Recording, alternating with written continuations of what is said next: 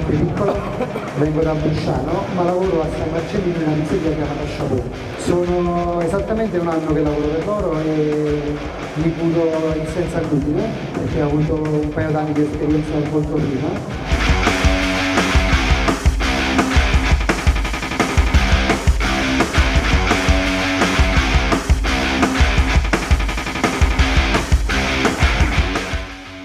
Eh, ho fatto l'impasto con fior d'ultima muto e all'interno si trova esattamente 4 grammi di nero di seppia. È un impasto diretto fatto esattamente a un picco di limitazione di 24 ore di temperatura ambiente, dopo di cui faccio lo staglio e a temperatura controllata la mantengo altri 24 ore. Ci saranno 5 grammi di lievito